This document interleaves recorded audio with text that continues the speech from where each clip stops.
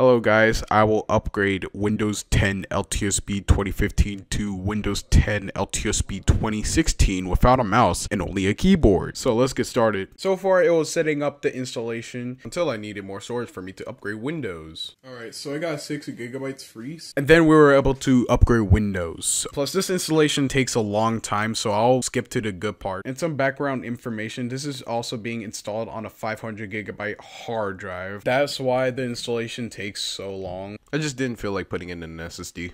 Alright, so it just rebooted. It's at 30%. Alright, here we go. Here we are. After like several minutes, probably an hour of waiting. Getting things ready also took a long time, but we can blame it on the hard drive since it's old and kind of slow. But at the end, we finally made it. Alright, let's start. Alright, so it actually upgraded. Nice.